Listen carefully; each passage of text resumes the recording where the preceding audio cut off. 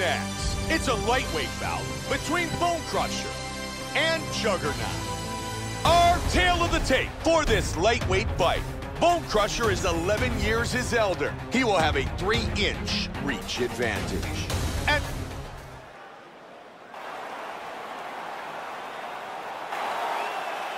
Bone Crusher. Juggernaut. You ready? Here we go. Fight scheduled for three five-minute rounds. White trunks for Juggernaut. Black trunks for Bone Crusher. That's a powerful knee. Juggernaut with a short elbow.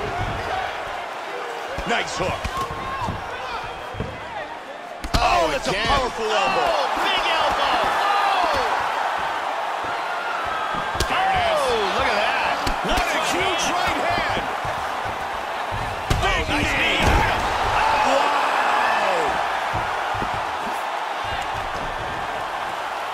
Big elbow. Smash. Big oh. right hand. Wow. Wow, he goes down. Hard diving punch. And he's back up again.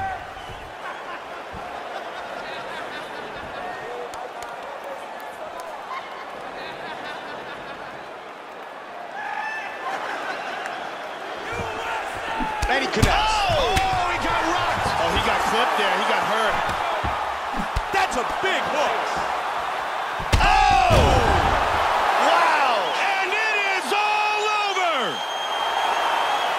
Landed a gigantic kick for the knockout.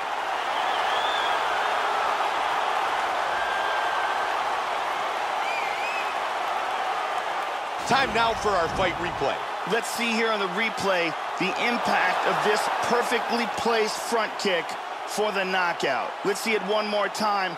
The front kick snaps right on the target. Absolute perfect technique. And that is the end of this fight. Look at this. Bam! Lights out. Bruce Buffer with the official decision. Ladies and gentlemen, referee Mario Yamasaki has called a stop to this contest at 1 minute, 56 seconds of the very first round. Declaring the winner by knockout, Bone Crusher. Crusher wins by knockout.